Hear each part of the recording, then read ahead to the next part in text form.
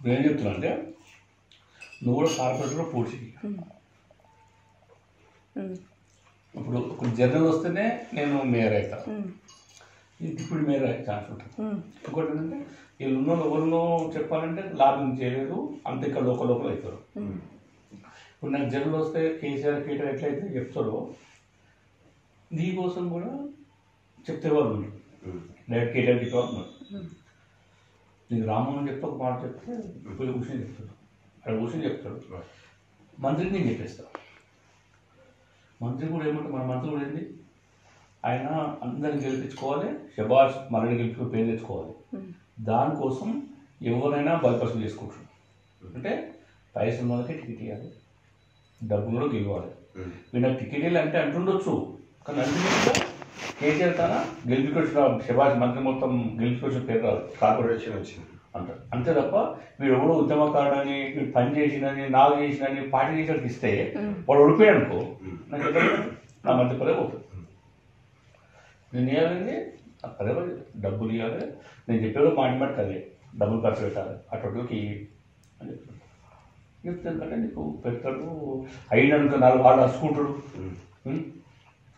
అని చెప్పగలుగుతాం కాకపోతే నీకు అవసరం అంటే కార్పొరేట్ ఇంతలకి ఇవ్వగలుగుతాడు చెప్పగలుగుతాడు నేను ఇయ్యలు మేయర్ ఆయన కానీ నేను డిప్యూటీ మేయర్కి ఆయన ఇవ్వగలుగుతాడు పెట్టి ఉంది? గెలిపేయడానికి డబ్బులు ఇవ్వగలుగుతాడు పక్కన లేని వాళ్ళు నాలుగు నలుగురు తక్కువనే అనుకో.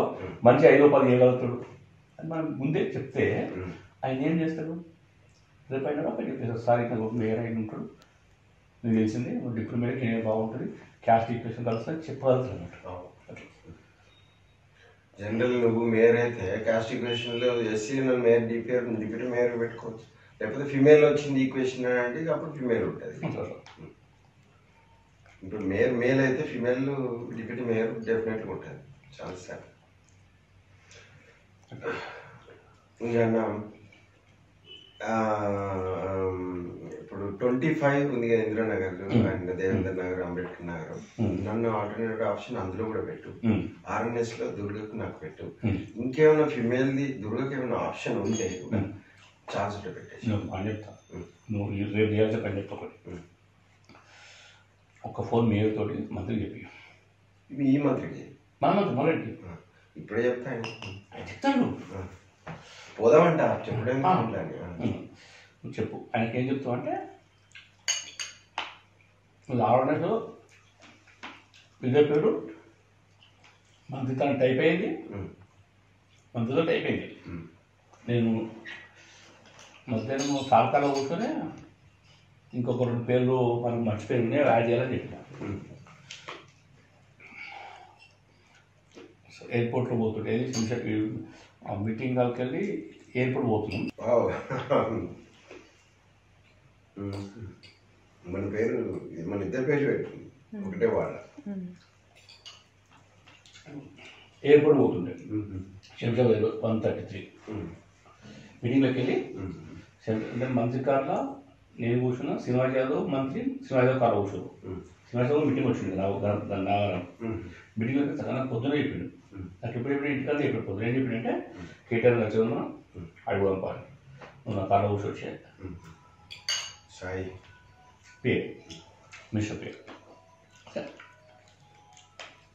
మనం ఇరవై మూడు మిసాలు చదివి మనం మన మిసాలు దగ్గరికి నువ్వు నువ్వు అడుగుతావు అనుకో నీకు డబ్బులు ఇవ్వాలి అంటారు. దగ్గర నువ్వు ఇంకా కోఆర్డినేషన్ చేయంట కోఆర్డినేట్ చేసి తర్వాత నామినేట్ చూద్దాం.